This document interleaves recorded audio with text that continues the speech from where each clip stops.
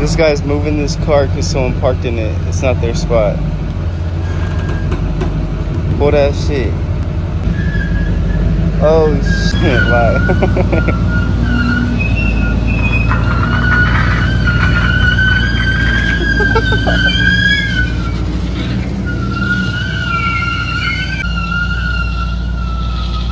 Yo.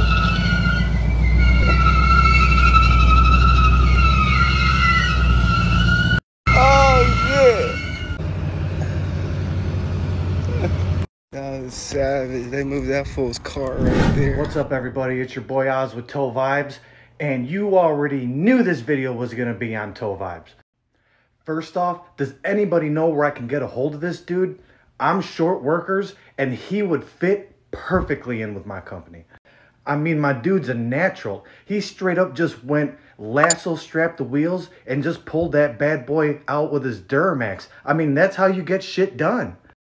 I mean, his form and his technique, it's so perfect. He even tucked it all the way up to the left so that way he wouldn't impede any traffic. I mean, that streak, it's perfect. It's like music to my ears. Look, it's perfectly, perfectly drifting all the way off and to the left. Do not park in other people's spots because this can happen to you. This has been a Tow Vibes PSA.